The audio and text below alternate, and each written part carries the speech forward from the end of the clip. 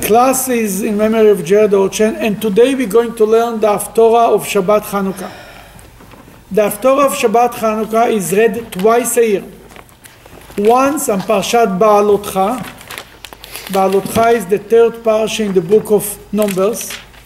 Speaks there about the beginning of Baalotcha, speaks about lighting the menorah, and that's the connection to the Haftorah. And also on Shabbat Chanukah, we will read about the menorah. It's all Chanukah is about the menorah. Now,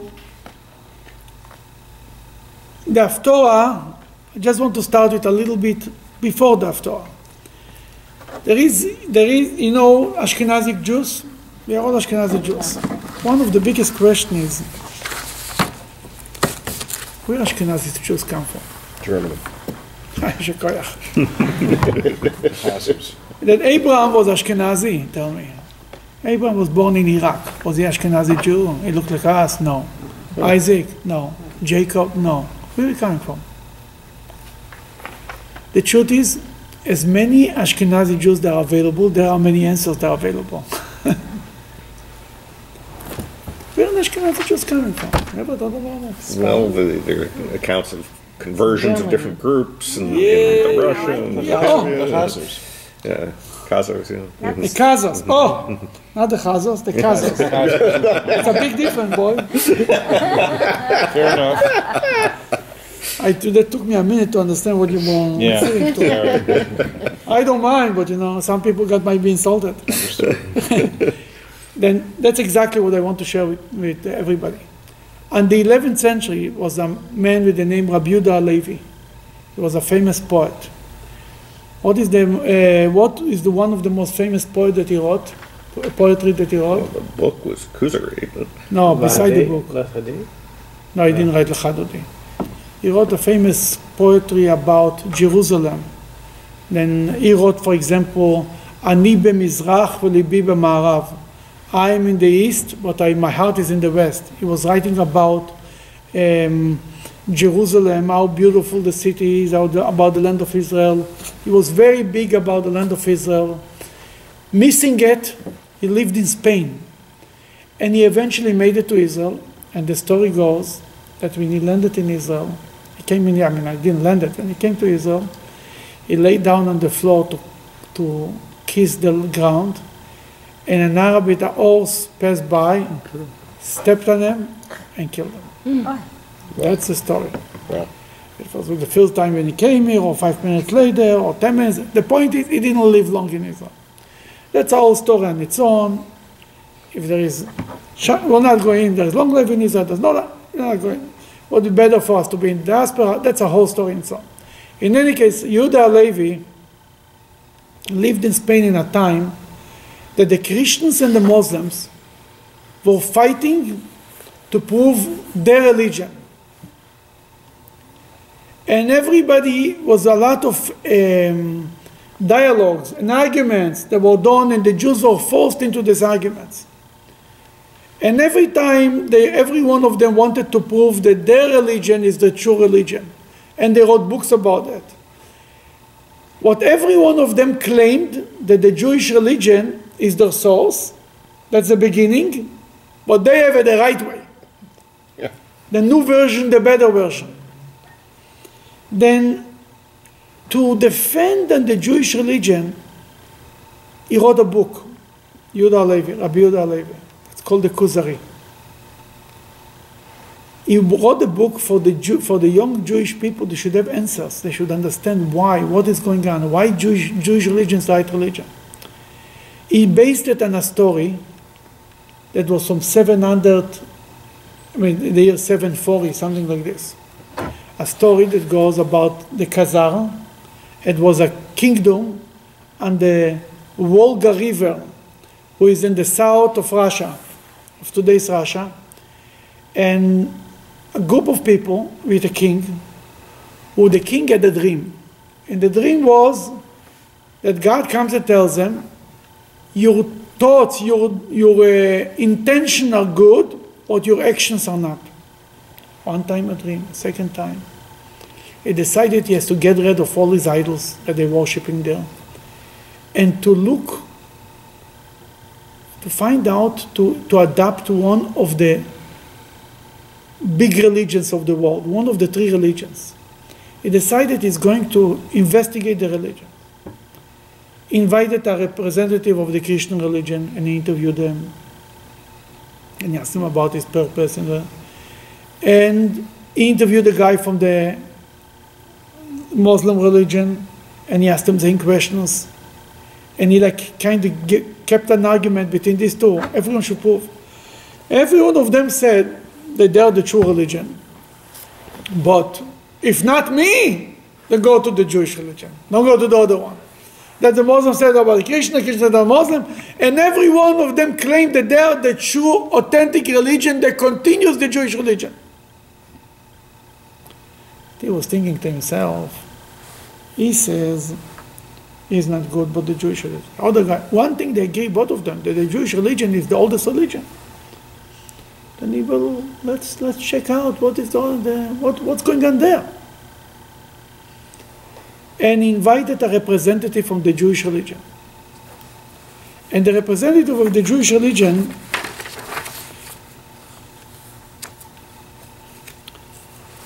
he, he was convincing him. He heard what the Jewish religion is and the history of the Jewish, and they decided that this is the true religion, and they converted. A whole, that first of all, the king converted secretly with his family, and little by little, the news came out that the king is, became Jewish. One more guy, one more guy. And little by little, it became the thing to do. The whole tribe converted. The moment you become Jewish, you have tzuras. The neighbors, the Persian neighbors, the Arab neighbors started to attack them and they had a lot of tzuras, but they wanted to er-, eradicate them, but they were a strong, very strong tribe, and they survived. For hundreds of years, this, this group survived, lived, and people in the West and other places didn't even know that they exist. They hear there and there something. The first time that uh, they heard a normal message from them was in Spain, I think. Um, the, in Cordova, he, he got a letter from the king of the Khazars, the Khazarim, the Khazars, that he told them, and his name was Yosef, and he told them that we exist and we want some help and some guidance and so on. Yehuda Levi took the story as a back, backdrop for his book. He created the story as an argument, the book as an argument between the Kuzari and the two representatives of the other religion, and finally comes the Jewish person, and he's asking him questions, and he gives them answers. He put in their mouth questions and answers. That was the, the, the way it's, the conversation is when the Jewish person comes to give his, his, his, his he doesn't bring philosoph, philosophical explanations, he states facts. We had Abraham, then we had Isaac, then we had Jacob. He gave a mystery. And then he said that well, we Jews went to Egypt and we were for 210 years there. Then we came out from Egypt, they received the Torah at Mount Sinai, we had the splitting of the sea. He said he, he was shocked. He thought we would give you philosophical explanations why we are believers that you believe. He came from a historical point. He said the Jews don't need philosophical proofs. The history is on our side. The whole Mount Sinai is the strongest proof that we exist. That we exist. We have a beginning, we have Abraham, Isaac, and Jacob. We don't need any, we don't, we don't need to prove that we are right. We are here because we have the history, we have the whole history of generations.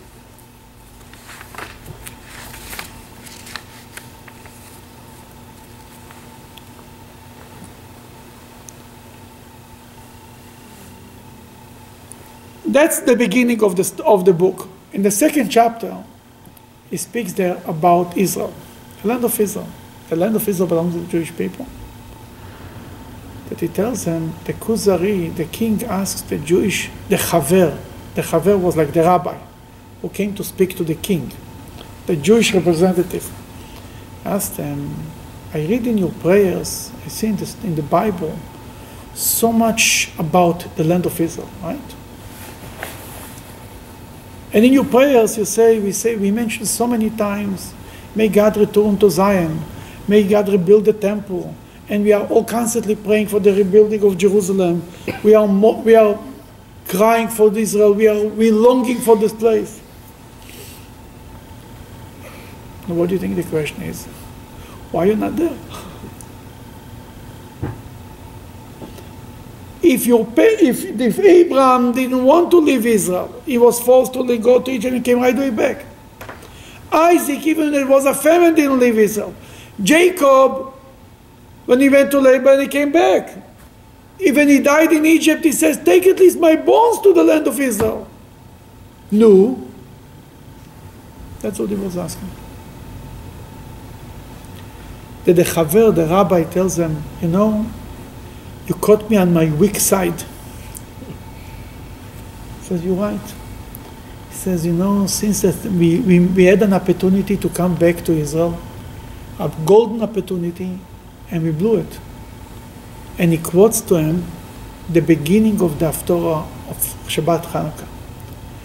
It was the Haftorah is from the book of Zechariah. The prophet Zechariah lived at the beginning of the second temple, trying to encourage the Jews to go back to Israel. What happened? We were exiled after the destruction of the first temple by the Babylonian king. Fine.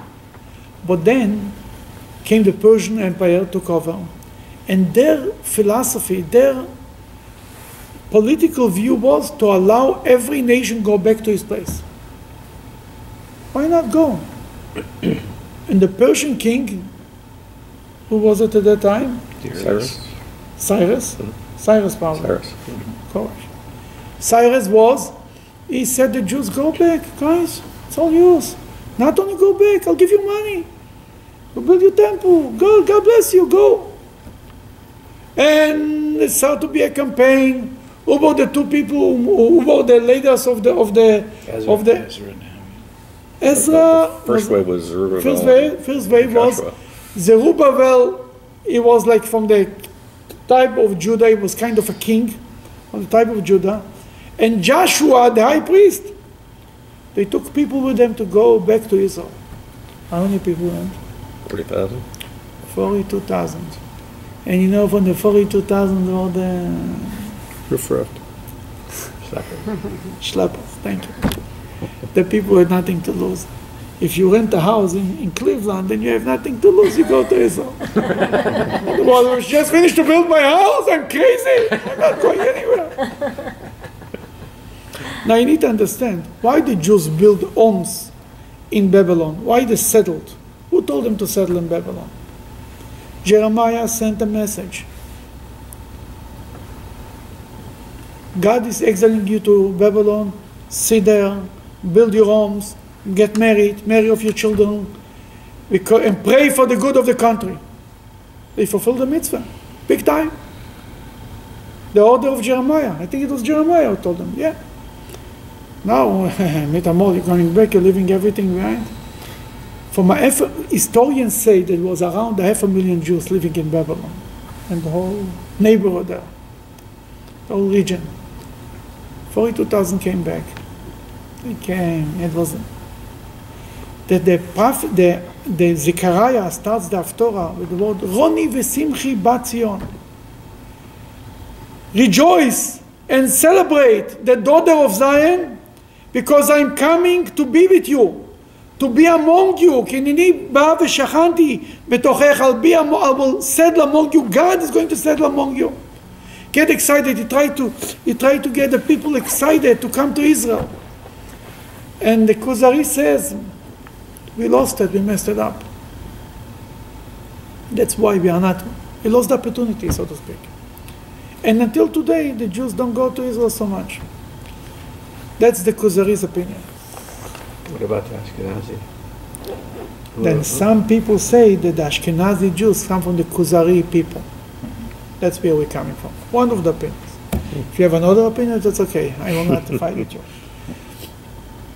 Now, the Rebbe took this line and he translated in a Hasidic sense. There is Zion. What does Zion means? There's a name for Jerusalem. That's a marker. A marker, sign. beautiful, a sign. Tziyun means a marker. When you say, what is your mark in Hebrew? Ma tziyun. Tziyun means a mark. Zion, Zion and Jerusalem, Zion means a mark. It means to say, Zion is a mark of whom? Not only the country is called, the city is called Zion, the Jewish people are called Zion too. We are a mark. What are you a mark of? Of Hashem. Here it's the daughter of Zion. When we, during the time of the temple, we are in a much higher spiritual level. We are Zion. We are a sign of God. A mark, you see a Jew, you see God. You remember God. We, our job is to remind people about God. Now we are a daughter of Zion. Daughter of Zion, you know, there is like, for example, there is a something it's called bat kol.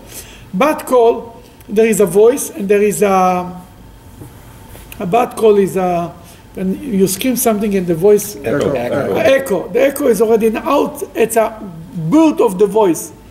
Bat Zion is the echo of Zion. We are not already. We are not looking like Zion. But you know what? We are a little bit just a residue of Zion. Even then, God says, Roni vesimchi. The prophet says, rejoice, the daughter of Zion. Even then, God is among you. The Rebbe took it and turned it around into a positive. We're not getting to the whole thing, do, but maybe we should. By the way, you know, I heard once, I heard a rabbi a few weeks ago speaking in Israel. He says he starts to speak his speech, then he says, "And by the way, I have something else to tell you. That's a by the way. That's not even the speech, but you listen, but that'd be good for you." It's called in Hebrew bakshish. You know what bakshish means? In Arabic, bakshish, Tip. a tip. He says that I'll give you as a tip before the speech. What is the really the goal? Should we all go to Israel? God gave the, the land to the Jewish people. This is true. But really, it's written when Moshiach will come, the whole world will be the land of Israel. What does this mean? God created the whole world. We are a, a light unto the nation. We're supposed to show the way, remind everybody about God. If all of us will live in Israel, we'll do it through Skype, how exactly are we going to teach the world about God? Go on, and, and go on CNN from Israel and tell them, teach them lessons? That's one way, I must say, through the internet. But we need to live everywhere. And the goal is to make from every place in the world a part of God. That the Kuz- Rabbi, uh, Yehuda Levi wanted to live in Israel. He came to Israel. Look, it didn't end up so good. I'm sorry. Because the job of the Jews is to be everywhere. Maybe I told you the story. It was in uh, the first Lebanon war in 82 83. The whole purpose of the war was to chase out Yasser Arafat and the Palestinian, author- uh, the PLO at that time was called, from Lebanon. Get them out of there. That was the goal. And eventually Begin accomplished that. And they left Lebanon, they went to where? Tunisia. Tunisia. Or- Tunisia, yes, beautiful. Then the Israeli government, the Shin Bet, decided that you have to take the Jews out from Tunisia because the PLO now is in Tunisia. Who knows what they're going to do to the Jews? was a nice Jewish community there, relatively vibrant, raised 15,000 Jews, something like this, in the 80s. Then they sent their people underground in a secret way to sneak the Jews out of Tunisia. They talk to Jews, they talk to Jews, nobody is moving. Why? They said the Chabad rabbi in Tunisia says don't move, the rabbi said don't leave. Because the hill that was too strong and the Tunisian Jews were very were living strong in the Rebbe, and the Chabad rabbi was there for 50 years. Chabad, the Rebbe sent to Tunisia a Russian Jew. It's like from Russia to Tunisia, it's like going from bed to worse. I mean, it's like he came out from Russia in the 19 in 50s. The Rebbe sent them straight. He didn't even give him a chance to come to America. From Paris, they sent him straight to Tunisia. Here is your present. Go. Came to Tunisia. The Rebbe, he said, the Rebbe says, don't leave that they realized if they want to get the Jews out of Tunisia, they need to meet with the Rebbe. That at that time, the head of the Shin Bet, one of the big mahas there, came to meet the Rebbe in his office. It was a private, yeah, just the story was revealed a few years ago. The guy told the story, the guy from the Shin Bet.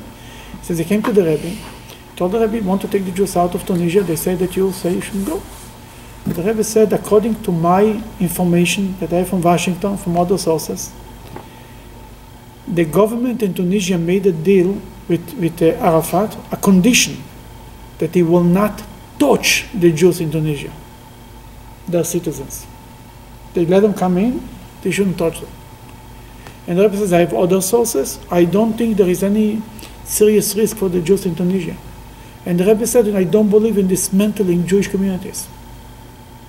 If there's a Jewish community, they should stay there, they should be there, should live there and thrive there. And on top of it, the Rebbe said, any country that has a strong Jewish community, this country is usually more supportive of Israel. Because there is enough Jews in the government and this. And he says, I think I will be right. I wish I would meet with this guy because what ended up in the end? Who came from Tunisia? The Jews or Yasser Arafat? Hidden. Arafat left. Arafat, le- Arafat came Arafat to went Israel. to Ramallah. To Ramallah. The, the Israelis brought Arafat to Ramallah, to, to Israel. They thank you very much. The two was right. They're happy. The, Jewish- the where it became more, more dangerous to be. In Israel or in Tunisia? In Israel. You said you want to save the Jews from Yasser Arafat, then you end up to bring Yasser Arafat to Israel. Thank you very much. It's better the Jews should stay in Tunisia. They are more, more safe than the. But the go, but what, what the philosophy behind it, and the second one, thank you. If you remember the year the 2000 intifadas with the, with the buses blowing up and Yasser Arafat came to Israel, a thousand people were killed, a thousand Jews and 10,000 uh, Arabs. That was all because they brought them to Israel. They invited them, forget about. Then obviously they didn't want the Jews. The Jews don't want to come. We'll bring Yasser Arafat, one of the two. They made the choice. What I mean to say is the philosophy behind Judaism, the Hasidic philosophy is that not everybody has to run to Israel. We need Israel, a strong Israel, but we need Jews every place in the world to bring godliness to the place.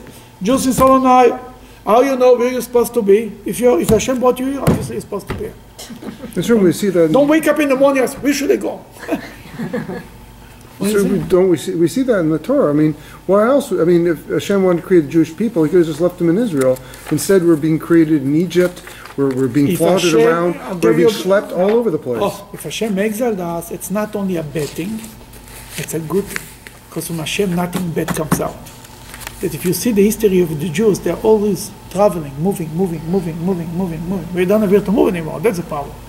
But it's all about going all over the world and bringing the word of God. In Solon, Ohio, until 50 years ago, there was no Jews here. Ever, since the creation of the world.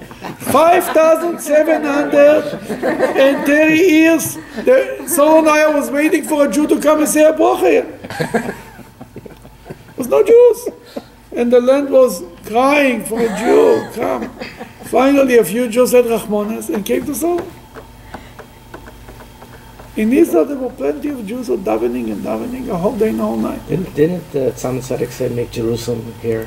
right yeah, there? there was a famous story about the, the third Chabad Rabbi that a Chassid came to him and says, Rabbi, I want to make Aliyah to Israel. He says, you're probably looking for the holiness of Israel. Told him, make Israel here. You going to Israel? Make here Israel. Mach Eretz Yisrael. It became a slogan in Chabad. Wherever you go, make here Israel. Or Chabad rabbis wanted to come back to the Rebbe. Rebbe used to tell them, you probably come to the spiritual part, right? Sit there and make it. It's all about wherever you are, making it a godly place. Okay, then uh, we'll stop right here and we'll start to learn a little bit the Haftorah. It's on page 1449. Roni Vesimchi, Zechariah, the prophet Zechariah is speaking. The, the, the Haftorah is kind of divided into three pieces. It's in the book of Zechariah, chapter 2, 14, the end of, the, of chapter 2 and the beginning of chapter 3, and more than the beginning. It's all chapter 3 and a little bit of chapter 4. Then let's start and then we'll go, we'll see where it takes us.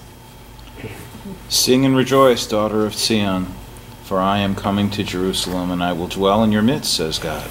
Many- Don't be afraid of all the other nations. He basically needed to bring some excitement to the Jews because it was, they tried to build a temple. It was, they tried, they tried with the altar, right? And right after they tried with the altar, um, the king stopped the building of the temple.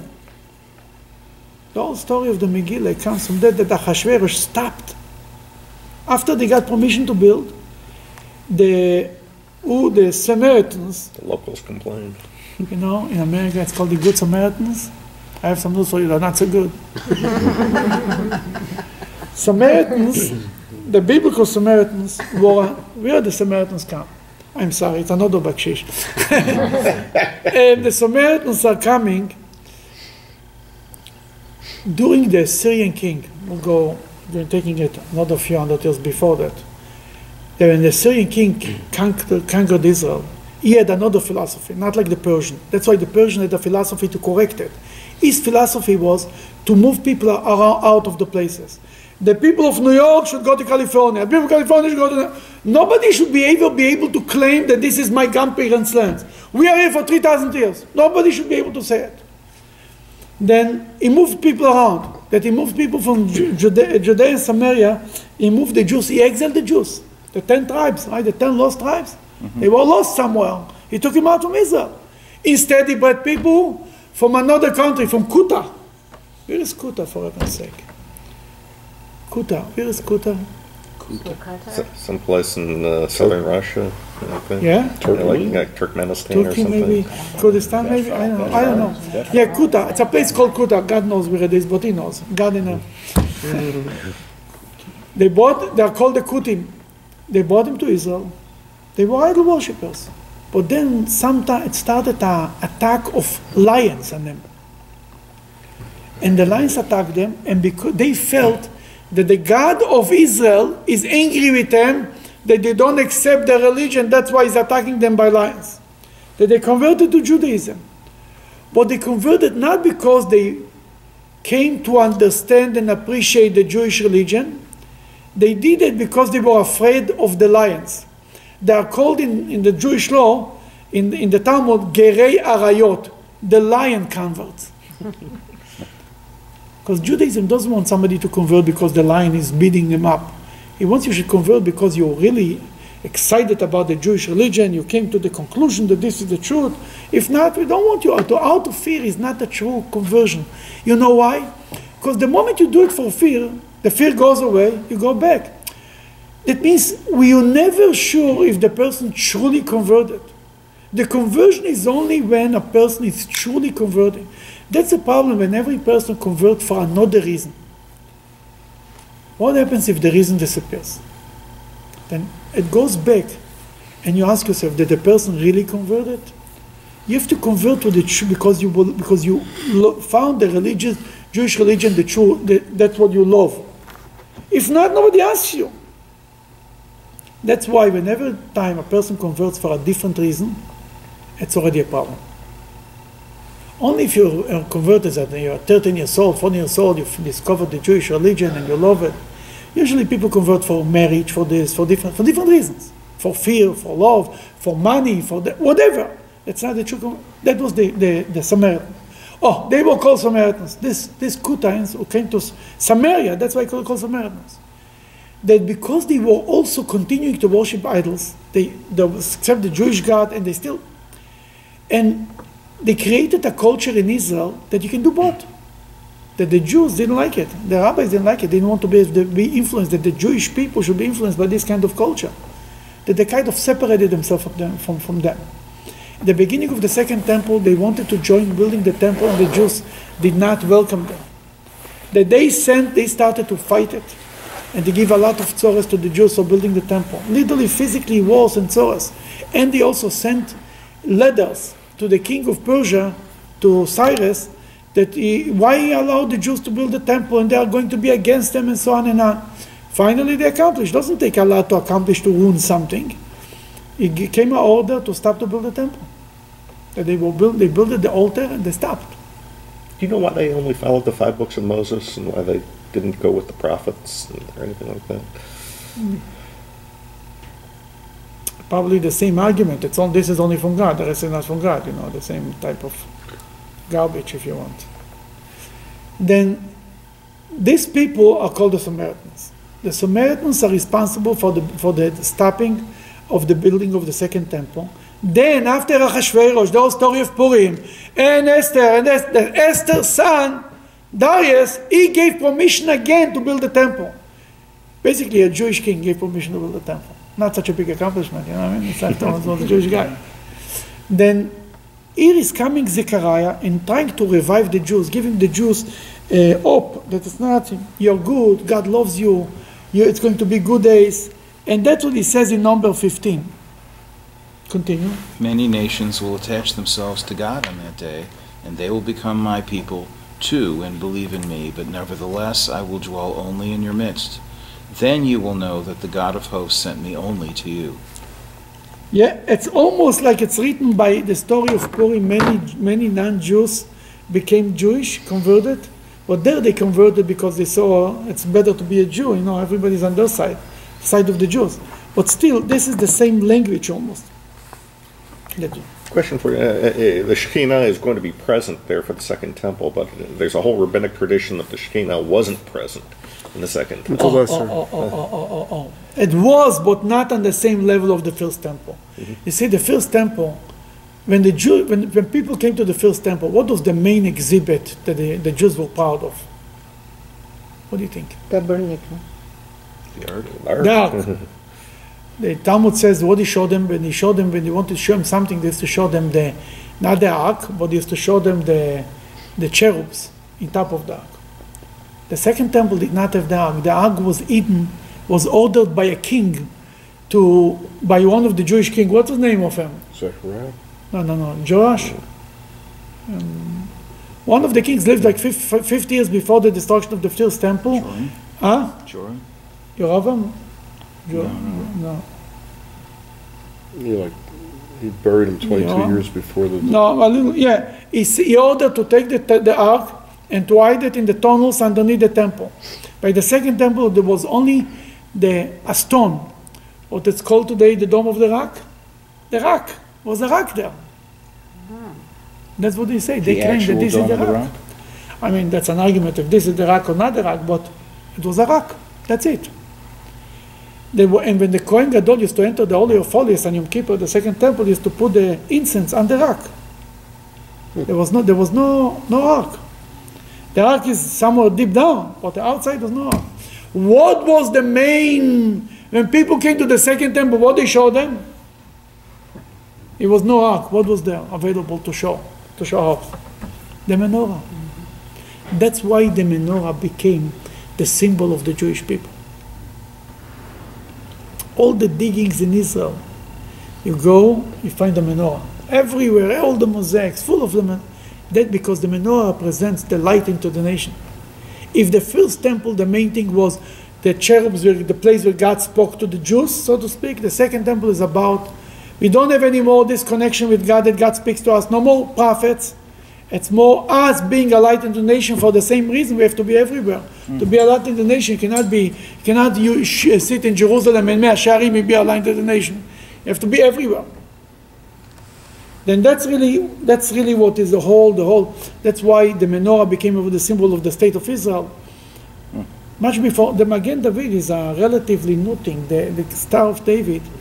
It's a whole discussion from where it's coming. Some people say it's coming from a from a um, false Messiah who made it up. It's a whole thing. The the Star of David is a 700 year old event. The real symbol of the Jewish people is the menorah. Not the menorah of Hanukkah with nine, eight branches plus a, the seven branch menorah. Think about that. When you go to, to Rome on the Arch of Titus, they put a picture of how the Jews bring the menorah. I didn't bring a picture? We put something else because that was the symbol. That was it. I don't see people wearing menorahs though. You know, you know, I know now they wear a high. Where that came up 20 years ago, I don't know. The high, the high means life, right? And they sometimes they use a hand. I mean, No, the menorahs are on the cars. yeah, we don't. Yeah, the, Yeah. we don't wear. Why don't wear a symbol? See. You see, I'll tell you, wearing a symbol means, and then they just hide it. They put it underneath the shirt. I don't need a symbol, right? Judaism should be, you should wear it on your sleeve, outside, in the sleeve. Should, people should see that that's a Jew, and you not have any issues. But when, when you, but I don't, I'm not against it, I'm just saying, but you're right, the original symbol is a menorah. Some people wear menorahs, little menorahs or things like this. Mm. And cars, they have it on the car hanging on the, on the, window shield or things like this. But this is a symbol. Every synagogue usually is the picture is a menorah. In front of every Jewish building almost is a menorah. Beknesset? That's a synagogue. Yeah. Knesset. Uh, in the Knesset. In yeah, there is a menorah. Yeah, yeah, yeah, sure. That's what I said, the whole state yeah. of Israel. Then here is what we go, how we got there, I don't know, but let's read number 60, 17, uh, 16. 16. God will let Yehuda take possession of his position in the Holy Land, never to be exiled again. And God will once again choose Jerusalem to have his Shekhinah dwell there. Yeah. Go ahead. Be silent before God, all you nations. Never again speak badly of the Jewish people. Uh, from, from your mouth. you know. Yeah. Okay. It's interesting. Be silent in front of God became a verse that in many synagogues they put it in top of the ark. We have in top of the ark a verse, but not this verse. Many, it's like many people. It's a verse tells you you walk into a synagogue. Be silent. Don't talk. Be silent in front of God. We have in our shul we have a verse that says, "I love you," says God, because you're a little more loving, a little more warm and not so rigid. That's the first part of the of the Haftorah that speaks to the Jews that eventually God will choose the Jewish people. Choose what means He will show again that the Jewish people are the chosen people, and God will be among them, and everybody, nobody will be allowed to talk one bad word on the Jews. Now, beginning of chapter three, he has a vision. The prophet, number the- one, three one, yeah.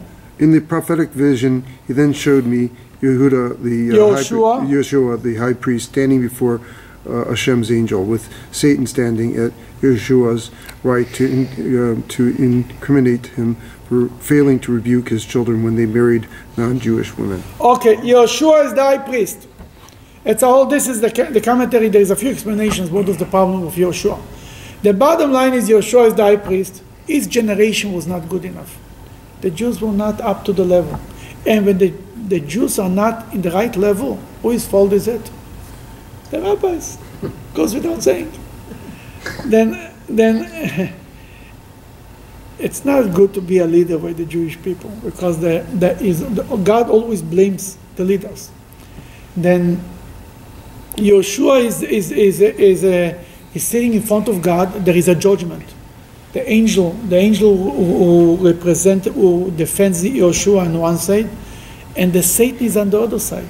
And the Satan says he doesn't deserve it. He's guilty. His children don't do the right way. If the Jewish people are not the right way. His he himself is not so holy. That's what he said.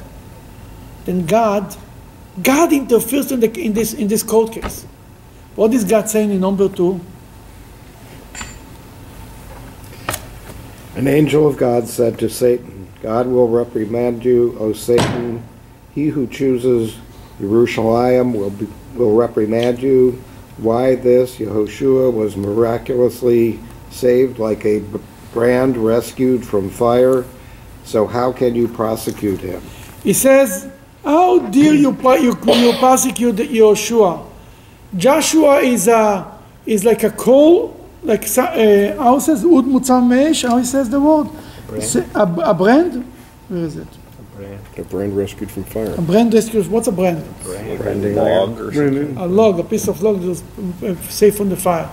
Yeshua, according to the Medrash, was thrown into the furnace once, and his clothing was burned a little bit, but he was not burned. But it's more than just this. Allah the ud mutzal meish. How dare you persecute the Jews? The few Jews that survived, we lost ten tribes. Most of them went to exile. The few Jews who survived all the tzores, you're going, you're going to say bad things about them.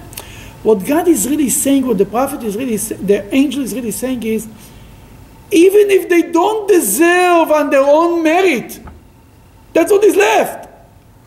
If we persecute them, we will left with no Jewish people. It's correct and relevant in our generation. I remember once years ago was a rabbi who spoke bad against the Jewish people. That the rabbi says, How dare you speak bad about the generation who survived the Holocaust? And he quoted this line, Allah ze'ud mutzal mesh, it's a brand, was saved from the fire. Barely, we barely have a Jewish people. You, you saying bad things about them? And that's what he, God is telling the Satan. Be quiet. How dare you speak against the Jewish people? Even if they don't deserve on their own merit, they are the representative of the whole nation of Abraham, Isaac, and Jacob. Okay, Quick, quick question about the, this concept of Satan being the accuser. yeah. Uh, uh, this is one of the places we see it, but I mean, there are only what, maybe four, five, six references to Satan in the entire Hebrew Bible. Uh, this particular character of Satan, and, and in this one, he's he's the prosecutor. Basically, he's employed by the state, you might say. Yeah, yeah. I mean, he's God's agent here. He's God's agent. He has to do his job, but God has to put him in his place. Mm-hmm. The other angel has to put him in his place. Yes. It's called um, Samach Mem in, in other languages. Mm-hmm. Yeah. It's, it's, it's, it's, it's, it- there is, it's a name of an angel. It's called Samael also. Mm-hmm. And, so, and we don't even use the word because we don't want to invoke him. That we call it Samach Mem. It fills two letters of the name of this angel.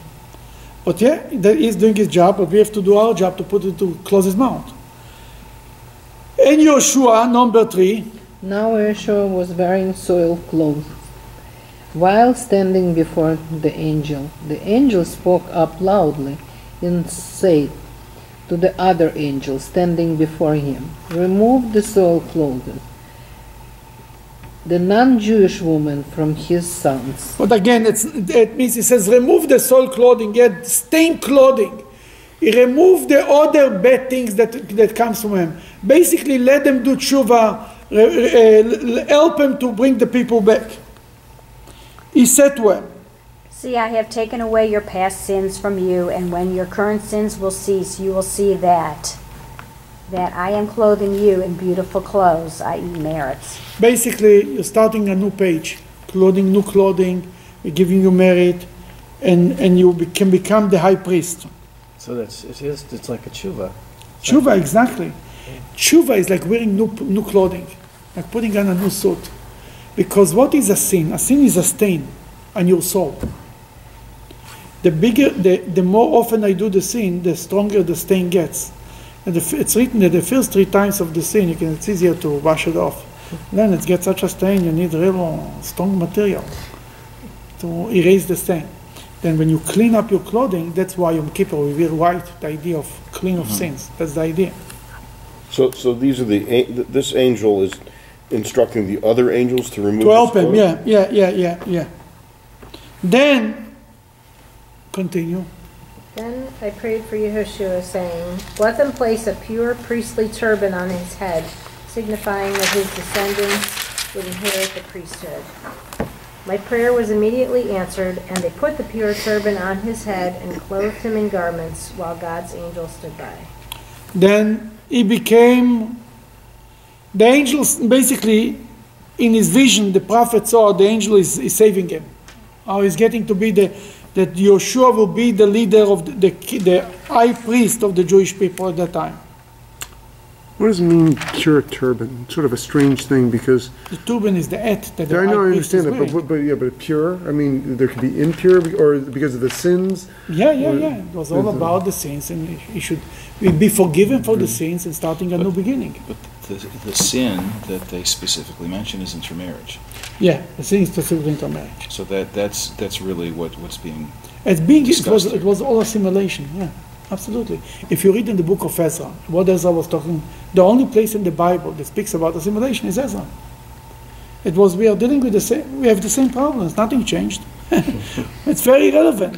What's the, what's the Hebrew for turban here? Because I know other English translations, Sanif, I mean, other uh, translations call it either a diadem or a crown. um, Diadem, like a Sanif, mitznefet, mitznefet is a, all of the above.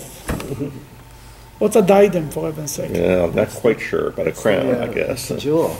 Like a something like this? Yeah, It could be, it's, if it could be all of this. but it, it's clearly the priestly Oh, yeah, crown, not the priestly crown. not the Davidic crown. Yeah, that's the idea. Was that the high priest is the more is the important part at this point. Number uh, six.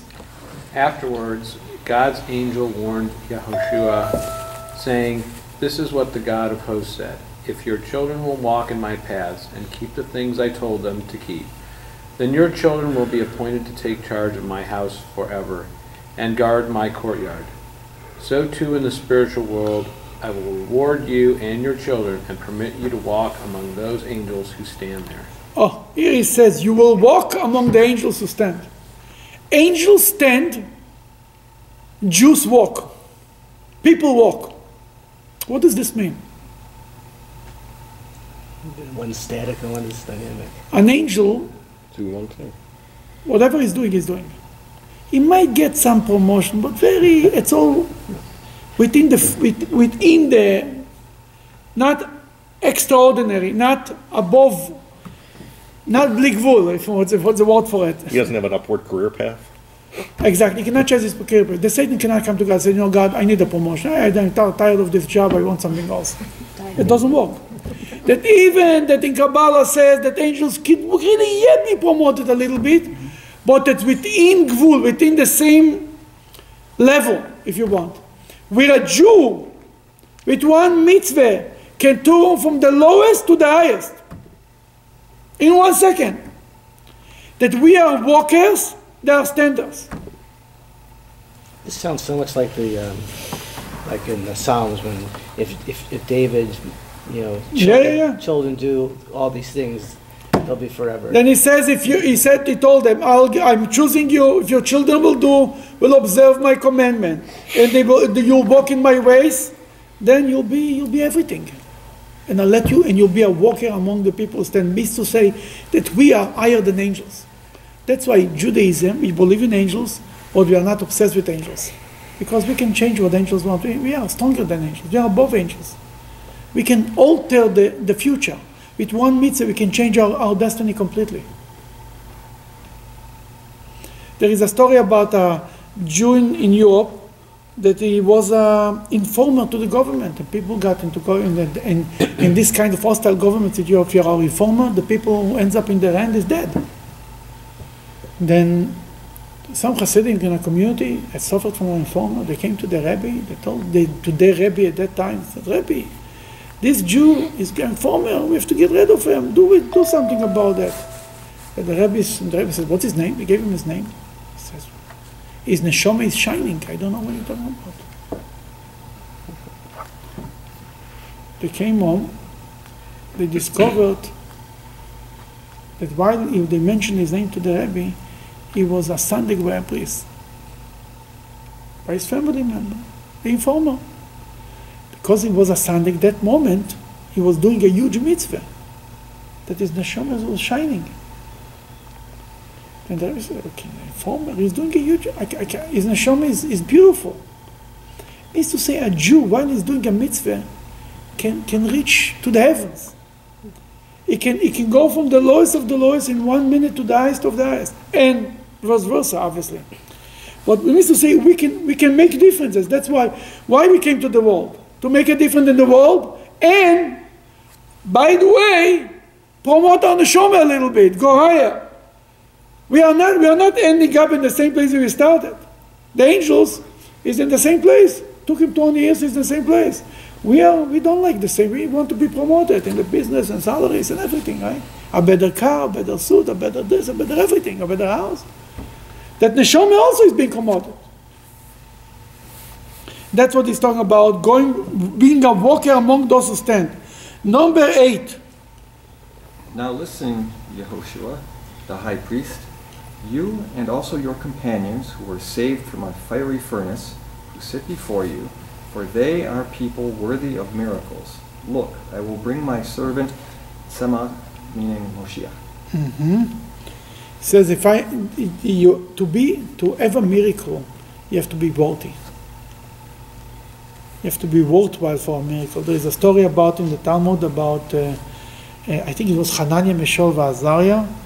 They they I think it was them. Then he said, uh, or it was after that, he told, he told uh, the, I think it was the Babylonian king Nebuchadnezzar told them, if you if you deserve, Hashem will make a miracle for you. And they told them, you don't deserve that Hashem should make a miracle through you. We might be burned. He was throwing him into the furnace. He said, we might not deserve to. You are not a king that deserves a miracle. You have to be to deserve a miracle. The, even the evil king has to be worthwhile to deserve a miracle. Pharaoh was worthwhile to, to make miracles for. Same thing he says, you are people who made miracles that you deserve that we, I will bring Moshiach. It was a time that Moshiach could come at the beginning of the second temple if the Jews would cooperate, would wake up. Number nine, Here is the foundation of stone of the third temple that I will place before Yeshua's descendant, the high priest, for him to place. There will be seven eyes guarding a single stone of the temple from, from above. I will participate in the construction of the temple by engraving inscriptions on its stones, says the God of hosts, and I will remove the sin of that land in one day. okay, he says he will create a stone with seven eyes, right? What does this mean, the seven eyes? Sounds like a menorah. Sounds like a menorah. It's more than that. There are seven heavens. There are seven kochavei lechet. How you say it in English? Seven stars. Seven. Seven of the planets? Maybe Seven heavenly bodies. yeah. There's more than that. Basically, the point is the idea of the seven eyes means that God, the eye of God, will protect the Jewish people. Like we want to say, I will put, I will watch him with seven eyes. It's coming from here. Seven eyes. You never heard the expression? No. That's an expression in Hebrew. I'm sorry, my friend. There is an expression like this in Hebrew. But, but it also implies that it's within the natural realm. You never, there's no expression like this in English? Then we'll create one right now. in Hebrew, there's an expression, he looked of me, he watched over me with seven eyes. It comes from here. So what's the stone they're talking about here? Is that The stone is like the foundation. Foundation, so there's a Foundation foundation stone. stone that's Like the both foundation on stone. the earth and It's like the dome of the, the rock. the rock it's the from the same dome of the idea. rock, Evan okay. Is the foundation stone. Mm-hmm. Yes. But the seven eyes also implies that the protection is within nature, that it's not going to require extra measure. That's an interesting thought. Yes, it is. Might, might be, yeah. Yeah. when it says that, uh, that they, uh, they will be purified in one day. What does that mean exactly? That be Moshiach will come, it's Yom Echad, it's one day, that, that day. Bayom hahu, Bayom hahu, right? Yeah, Shem Echad, Ushmo Echad, that's Yom Echad in one day. The, the day of oneness, of unity, that God and the world will be united, that God will be felt everywhere in the world. Everyone will know about God. So that's what's going to remove the sin at that point? I mean, how, Now, remove the sin, that's why Moshiach will come, it goes together. how is the sin removed then in the one day? Okay, there is two ways how it's going to happen. Could be that the Jews will do tshuva, and then Moshiach will come. Could another way be that Moshiach will come and he will make the Jews do tshuva. then now, now if, if it's going to be, if Moshiach shows up tomorrow morning on TV, yeah, we will do tshuva. That looks like it. Probably more likely the second one. The Beginning Ju- the Jews have to be dragged to six do thousand it. years. Now, it's going to be God willing in a good way. Mm-hmm. But it could be, I mean, if you would see the splitting of the sea, we would at least do tshuva for five minutes, I mean. Or to be after the five minutes, a different story, but for, for the moment, that's what it means. In one day, it could become in, in a miraculous way, that's the idea. Chapter 4, number 1. Now starts another story, so to speak. It's continuation. Good. You left out number 10. On that day is, Oh, I'm sorry. that tells you. On that day, we didn't finish? Oh, yeah, yeah, I'm sorry. Number 10. Read. Uh, on that day, says the God of hosts, you will invite each other to come and take shade under the vines and under the fig trees to enjoy the bountiful goodness which will then be. It will be amazing. It will be time for Moshiach. It will be no wars. Everybody will be under the flag and, the, and, and will enjoy life. It will be beautiful, sitting with the foot up, ta- up and. Uh, there will be every day will be Shabbos and holidays. Will Garden be of great. Eden? Everybody sits under Retirement. The garden? The garden will be life will be yeah good. Okay. Continue. It means to say, you know what we will do with the time? We will dedicate it for spirituality, for learning, for thinking. Not have to be busy with going to the doctor, going, going picking up the medication, going doing business. Everybody will be have time. We can learn Torah. We can not a class once a week, class a whole day learning Torah. Will be amazing. Go ahead. Then the angel that spoke with me returned and roused me like a man wakened from his sleep. What do you see in your prophetic vision? He asked me. I said, I see a menorah entirely made entirely of gold with a bow, bowl on top of uh, containing oil. It has seven lamps, and each of these lamps that are on the top have seven pipes that Mhm. carry the oil from the bowl.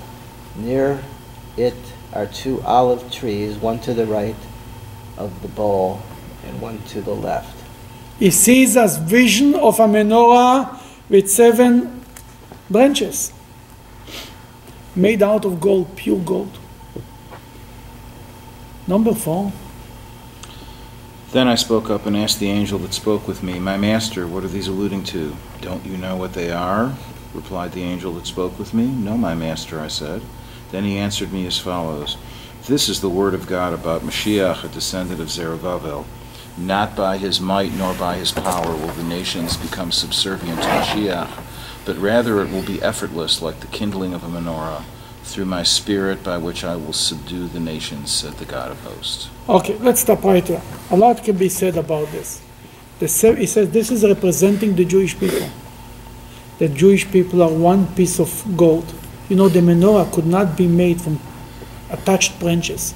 You had to take out one piece of gold and etch, etch out from it seven branches. It was a very hard job.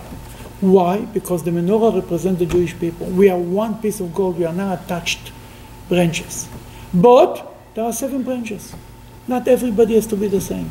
Not everybody has to serve God the same. You can, some people like to serve God by learning Torah. They, that's how they connect to God. Other people like to serve God by helping others, by doing good deeds. And still others like to pray. They like to come to the minyan. They like to be their chazan. Like to get an aliyah. There are, there are many ways to connect to God, as long as they are all pointing to the middle. You know, the menorah is to have seven branches. The three, three from each side and the middle branch. The three wi- wicks from the three sides were pointing towards the middle. The fires, the flames were towards the middle. Everybody was towards the same direction. Then the menorah represents the Jewish people. And that's why, according to that's that's what the, prophet tells them. That's why the menorah became the, the symbol of the Jewish people because it's actually the prophet says that it was in the, the angel told him in the vision, what is it showing me? says these are the Jewish people. And what he says, not with might and not with power, we're going to to to conquer the world, but with spirituality. It's also a message to Zerubbabel. Zerubbabel was the leader. Yeshua was the spiritual leader, the king and the high priest. He tells them, you better look up to the high priest, because ultimately, it's my, by my spirit. The Jewish people power is, the, is by the morality, not by the army. We need an ar- yeah, we need all of this good sure, but it's what we have to offer to the world what we should offer to the world, what's our niche is our spirituality. That's what we have to offer. Don't we have uh, different messages, though? I mean, there's the concept of Messiah and Joseph. There's the concept of the star coming from uh, Jacob. uh, You know, all military. Where you uh, see the themes. star here? The, the, the scepter coming from Jacob, uh, Numbers 24. Yeah, from the Balaam story. Yeah, no. Uh, Again, those have been interpreted uh, that that the Messiah is going to be a, a military figure. Yeah, yeah, some people say it. Uh, Bar that- Kokhba, that's that's Bar obviously. Which obviously didn't work out, right? Yeah, I mean, I mean we, we've got that one kind of branch, you might say, of saying that the Messiah is going to be a military leader, and we've got that you this want, branch you, of thought. that you want to say the seven branches? leader. That's what you want to, that's what they allude the seven branches? Yeah, no, not I, branch. I guess is the wrong term for, for this purpose. But I mean, there there, there are two ideas, I guess, in, in, in Jewish thought. Yeah, as to what the but, but gonna be. ultimately, it's not, we saw it with, that with might alone, you don't do it. Mhm. It's, that's what he says, loy b'chayil ve'loy b'koyach. Not with, with uh, how the translation is, not with might and not with, uh, Not by might, not by power, but Not- by not spirit by alone. but by what? From the song, yeah.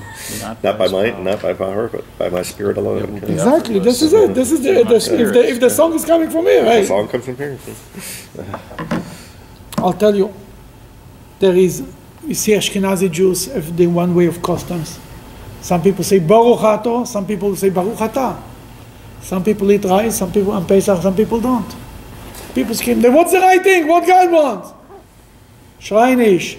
There is a more than one way. You can connect to God in more than one way. It doesn't have to be this way or this way.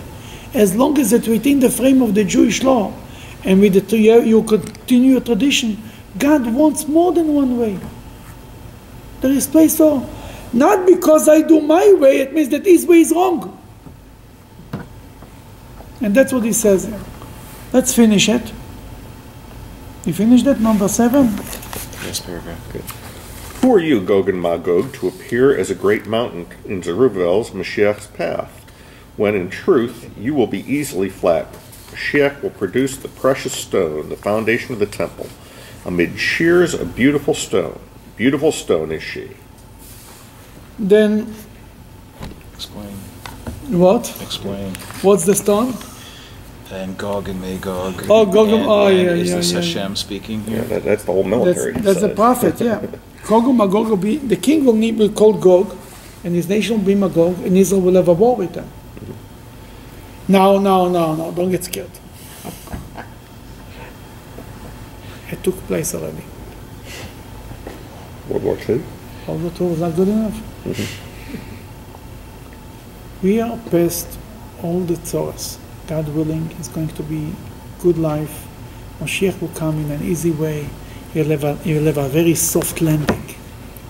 Because you know why? We already paid all the things. We're already behind it. You know, in history of 3,000 years, 75 years is like a minute or 100 years. Moshiach comes 75 years after the Holocaust. That means it was Gog and Magog, was a war. And now it's the past the war, Moshiach comes. Doesn't have to be another war. The way the Rebbe spoke was that it's going to be a good life, and Moshiach will come from goodness, from Jewish people coming back to Judaism, not because anybody saw forced them, not of desperation, not because they have nothing to eat. Think what's going on in America, what's going on around this table. Nobody forced anybody. I met a Jew, tells me, how many people come to Israel? I said, we have a nice crowd, Shabbos coming. Told him, but remember, everybody who comes here, nobody asks him tomorrow, if he doesn't come, where were you in shul? You know, in Orthodox community, if you don't shop in shul, your, your friends ask you, where were you yesterday? You went to the other shul, where were you? But here, people choose out of their own free choice to, to find out about more Judaism, to get closer to Yiddishkeit. That's messianic era. And even that in the news you hear oh, all the, the world is coming to an end. I get nicht, I get nicht. The world is not coming to an end. Everything will be good. Mashiach will come. Everything will be good. By the way, if you, if you just comment about this commentary here, I think it's beautiful. Beautiful statement down at the bottom there about what the Rebbe says. Yeah, yeah. They sh- you shouldn't speak about. Uh, don't speak bad about the Jewish people. Says even uh, the non-religious. Uh, Oh, yeah, uh, sure. he- he's very much in favor. Uh, Yeah, absolutely. And the Rebbe was the biggest defender of them. Yes, I was there when the when the Rebbe said the talk. Rebbe was so upset that people speak against.